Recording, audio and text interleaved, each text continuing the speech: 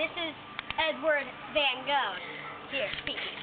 Um, this is called What Can I Do With This? And if you saw the recent entry, by the way, this is episode one. So if you haven't seen the entry, turn this video off right now and watch the entry because it's cool. Um, we're going to be performing tricks with this old plastic spoon, and we're going to try and, to encourage you to try and do these things after you watch it. Now, there are some dangerous stunts that maybe you should just watch and laugh at. There are no dangerous stunts.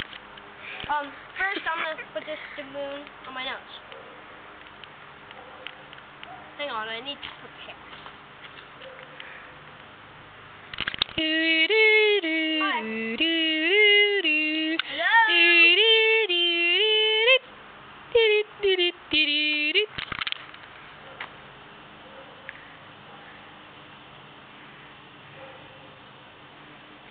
Okay, let's see how long that can balance. One, two, three, four, five, six, seven, eight, nine, ten, eleven. Okay, we're going to stop there because he could go on forever. We encourage you to try and do as long as you can balancing a spoon. Now, the If trick behind this Now, is that you just lick the spoon and stick it on your nose. so try it and tell us what you think, how long you could do it. If you think you could beat me, we'll do a video of that later. Now, our next trick is spoons. They're also great catapults. Come on upstairs, I got a surprise for you.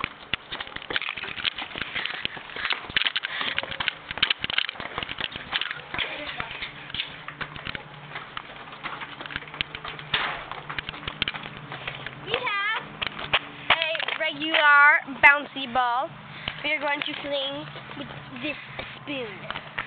Hopefully it does not go over the rope. Wow, look at that distance. Let's try it again. Okay, Griffin, I want to try. Alright. Let's let our friend Bob Patrick, or I mean Bob Patrick, give it a try. Okay, both Griffin and Edward Van Gogh, they're the craziest names that we could think of. And Ryan's lost the bouncy ball. So,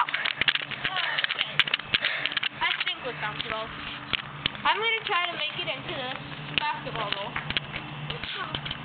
hang on, don't, not yet. Now that was pretty close. Would you like to try again? Yeah, I would. Griffin, if you don't mind. No. Don't mind at all.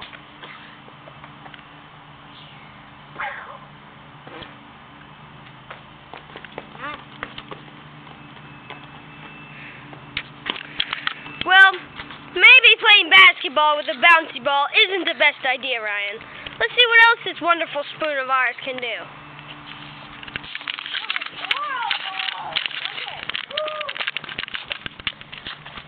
Here you go, Ryan.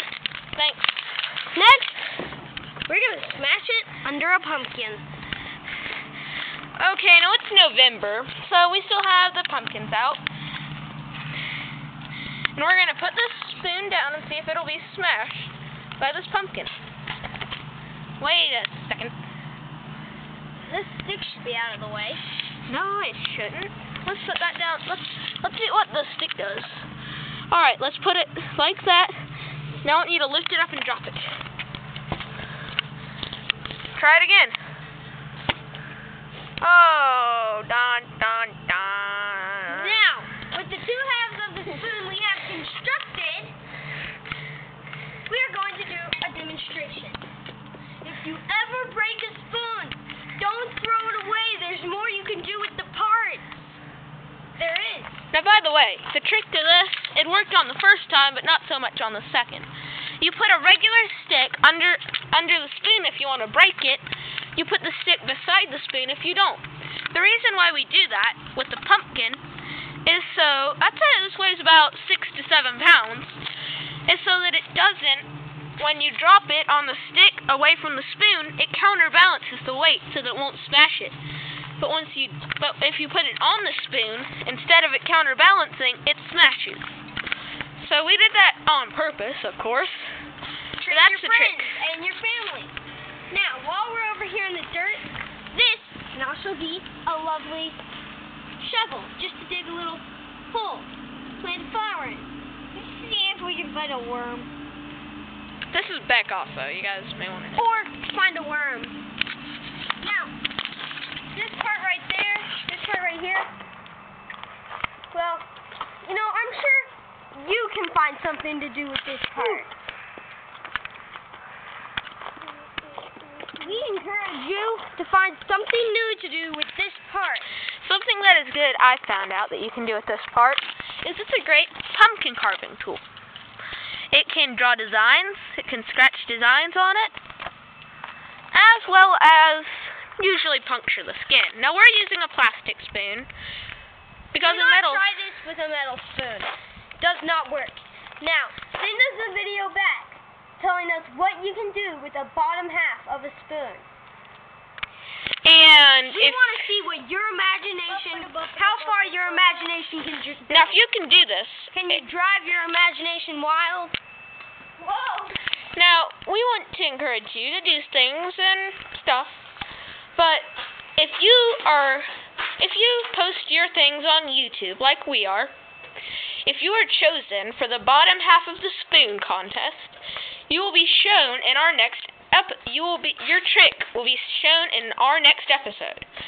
Now, we are using fake names. Ryan and Edward Van Gogh, Griffin and stuff.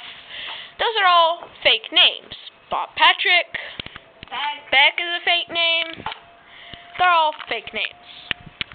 But we encourage you when you if you are if you do post your stuff on YouTube, please use a fake name to protect all identity. Okay, we hope that you enjoyed watching this half segment. Or um, don't mention your name at all. Yeah, that can work. okay. Now, Griffin, let's see what we can do with this and the spoon. This and the spoon. Maybe we should just save this for the next episode. Alright. We hope that you enjoyed the first episode of What Can I Do With That? Yeah, yeah, yeah. So come back later and watch us. We loved having you guys. Bye.